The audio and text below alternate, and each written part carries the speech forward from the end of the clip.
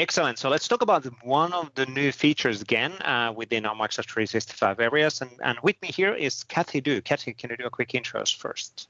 Yeah, hi, thanks for having me again. So I'm Cathy Dew, I'm a senior product manager in the SharePoint space focused around SharePoint sites and how to give great sites experiences. Excellent. And that, that includes communication sites, all of the pages and all of that stuff. So it's all up the end user sites, communication sites, kind of all up sites experiences. Which is yeah. communication sites equals the portals and intranets and corporate things and all of that stuff, which is, by the way, still a thing for sure. Uh, so people sure. need to communicate. yes, very much so. Absolutely. SharePoint is still very much alive and thriving. absolutely, absolutely. Now, today we're going to talk about creating of pages and news directly from AppBar. Why, why is this a thing? What do we want to achieve with this?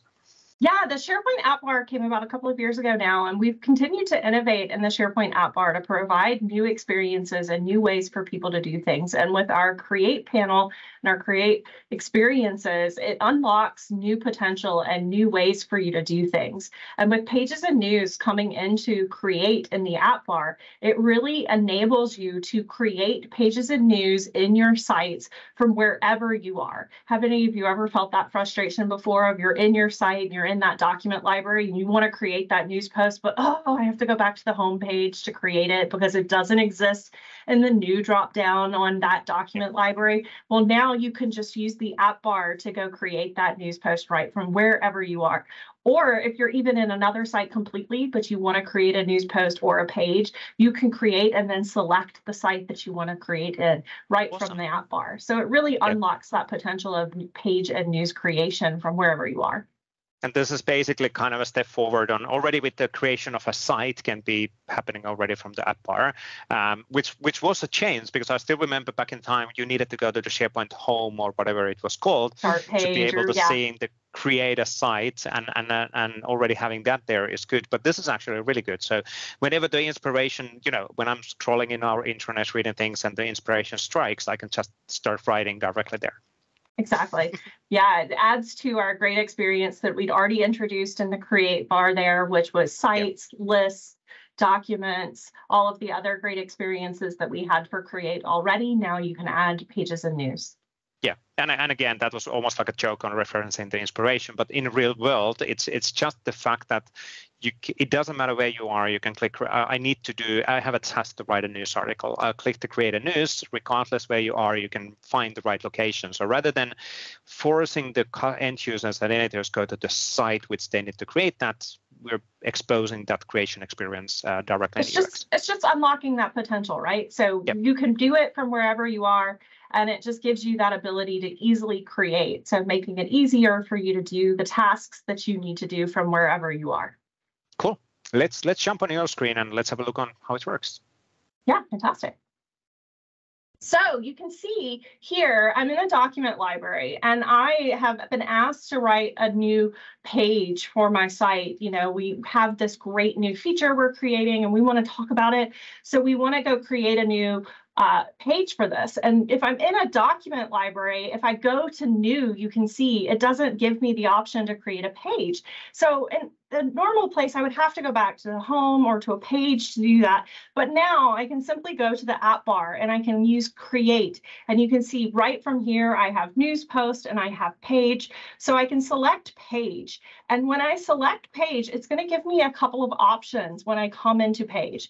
I can search for a site. I can use the current site that I'm in, or I can look at recent sites. So I know that I actually want to create this in the site that I'm in why does it give me all of these options? We're actually looking at your site that you're currently in and also looking at your recent sites to uh, give you sites only where you have permissions to create or edit pages to be able to give you this list for what you can do. So here I have permissions to create here in my current site. So I'm going to go ahead and select that. And once I do that, it's going to launch my page experience. So you can see it starts creating that page in the background. I get my templates to pick from, and I can jump straight into that page creation experience and create that page right in that site where I was. So it gives me that great easy easy ability to create it. I know that this is going to succeed because I have permissions to create or edit pages in this particular site.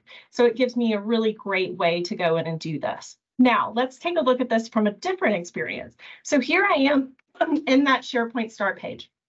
And I want to go create a new uh, page here. I had the option before to create a news post from here, but I want to create a page. So I can go and I can use that same create page. And you can see I have this ability now. I want to show recent sites. And so I can see all of those different sites. Again, all of these sites that it's showing me are sites that I have the ability to create or edit in. So I can pick one of these sites. I want to add this to my community garden site. So I'm going to select that going to redirect me over to my community garden site. And then I can pick my page and I can go through and create that page. If I am redirected into a site where I have page templates, because I'm going into that site to create the page, that site's page templates will show up here for me to select from. So if you have page or news templates in the site that you're asking to go to and create into, you'll have those as options to select from.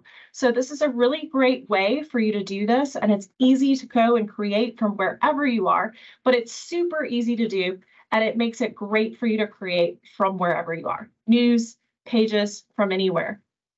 Excellent. Thank you, Cathy. That was really, really good. Um, I didn't want to even jump and ask any questions because, you know, you covered the whole feature and it's it's super easy and sweet to do that. So yeah, it's it's a really it's really straightforward feature. I mean, it it's just so simplistic, right? Like, why didn't we do this earlier? But it's so great, and it'll really we think enable you to get going faster and to yeah. unblock creation. And we're really yeah. looking forward to see people being able to create pages and news a lot easier now being being able to be more productive, more efficient, uh, which is which is always a good thing for a software. So we keep on improving and improving, and and I think the the let's say the boundaries of the individual sites are getting now more and more let's say less because in back in time it was like a site you need to find the site and otherwise the experience is different. Now that's no longer the case in SharePoint.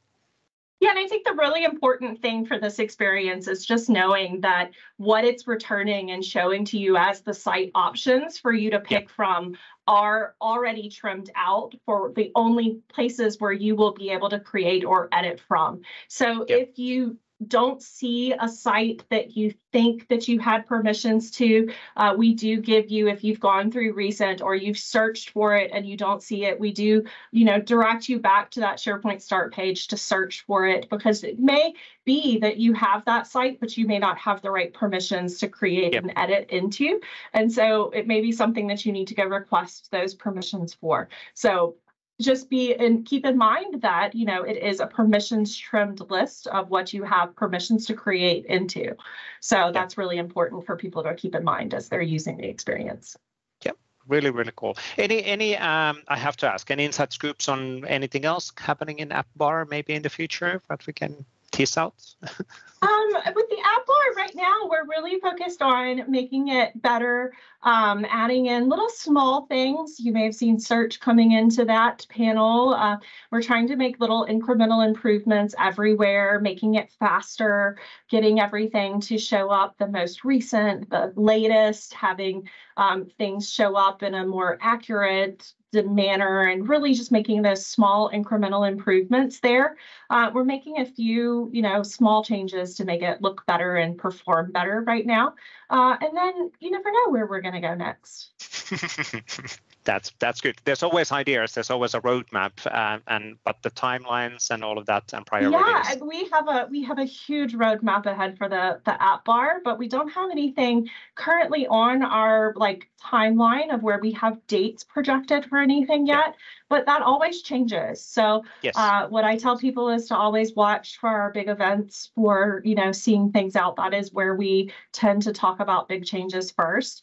Uh, but the app bar is an integral experience, right? We did recently announce the end of the disabling period. So yep. you're no longer able to disable the app bar. So if you had previously disabled it, you get a, a year to leave it off uh, but you can no longer disable the app bar. So we're looking forward to seeing more people using the app bar. And as we have more people using it, we will continue to invest in making improvements there. Sounds good. Sounds really good. I, I, guess that's close up the, the, the video. Thank you, Cathy. Really, really cool feature. And, and thank you for joining on, on getting that recorded as well. And, and a bit uh, talking about the background as well, because that's always beneficial for customers and partners to understand. Yeah, and just you know, stay tuned. We have a lot more coming, and uh, creation is a huge focus for us right now. Sounds good. Thanks, Cathy. Thank you.